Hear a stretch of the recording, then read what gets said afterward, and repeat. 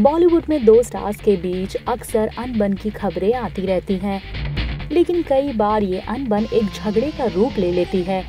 कुछ ऐसा ही हुआ एक्टर्स राज कपूर और राजकुमार के बीच। जी हाँ ये वाक्य है एक्टर प्रेम चोपड़ा की शादी की पार्टी का, जहाँ मौजूद थे इंडस्ट्री के दोनों राज। राज कपूर ने इस पार्टी में शायद ज़्यादा पी ली। नशे में धुत राज कपूर ने राजकुमार को पार्टी में देखा।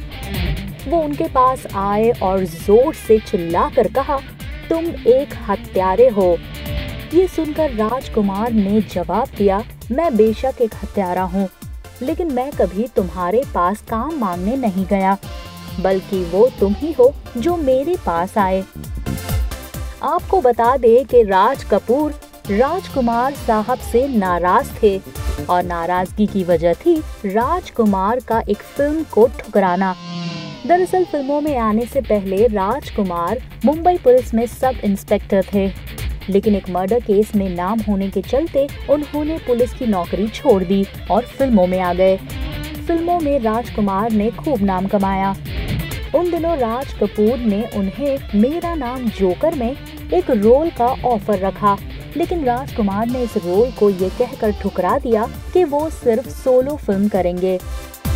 धर्मेंद्र और मनोज कुमार के साथ उनकी कोई बराबरी नहीं है। राज कपूर को ये बात तीर की तरह चुभ गई।